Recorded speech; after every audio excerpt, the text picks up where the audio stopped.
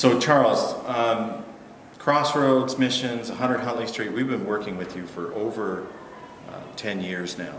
Uh, some of the classrooms that the children study in and the medical center that they get health care in, those were built with the support of our viewers. What does that support mean to you uh, as a ministry, Mully Children's Family? Indeed, I do not have enough word to express my, uh, my gratitude and appreciation to the uh, Crossroad Ministry through 100 Street. It has really done great, great things that we can uh, really imagine. That every dollar that you have been over the last 10 years being able to donate from the people of this country, it has been reaching us and uh, we have been able to help the needy children in our country. And that's why we need to raise funds and support this, this uh, ride across Canada. And we're just uh, encouraging all our Crossroads uh, viewers, Huntley Street viewers, to, to donate money and to really help uh, keep these kids in the program and also allow Charles to rescue more that are, that are desperate. So thank you, Charles. I don't think we are in a position where a little inconvenience, a little pain, a little bit of fluid, a little bit of hills, challenges, allow us to take that option out and simply say, you know what, this is too hard. I'm just quitting because I don't. It's not my responsibility. I have no intentions of that. And so, so to me, I, I intend to struggle on. Um, one day, two days, three days, basically whatever it takes to to get to Halifax because that's the platform that I committed to this cause and Arvid's been keeping up a grueling schedule, but it's been the cause has been driving him on, and so we, we need to be praying for him.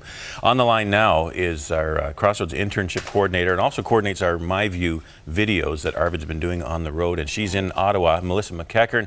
Uh, Melissa, um, we just have about a, a, minute or so, but if you can just give us a quick summary from your, your point of view, what's, what's happening there? Well, as you saw there, Arvid is not giving up.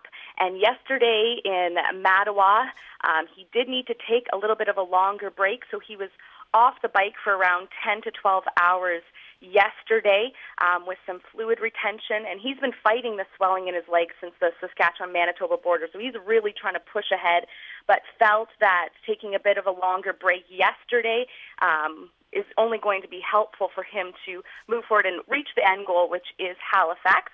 And at this point, we're taking it hour by hour. Um, he is back on the bike right now. He's in Bessette Creek, and he's been on the bike since uh, around 6 a.m. today. So he's pressing on, and even with taking the break um, yesterday, he still can make the Guinness World Record for being the fastest guy across Canada on a bike. And uh, myself and Charles Mully are here in Ottawa waiting to join up with the team.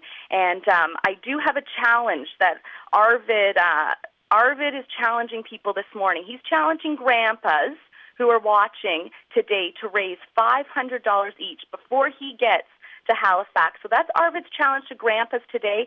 You know, call your kids, call your grandkids, grandpas, and challenge them to join him and Charles Mully, and uh, grandpas can make a difference. All right, Melissa, thank you so much for that update. And uh, the number, just so you'll know how you can connect right away, is 1 800 265 3100 or go onto crossroads.ca, the website. Click on Grandpa's Can. You'll see Arvid. You'll be able to track where he is.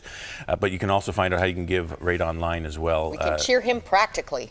Woo! That's the biggest cheer.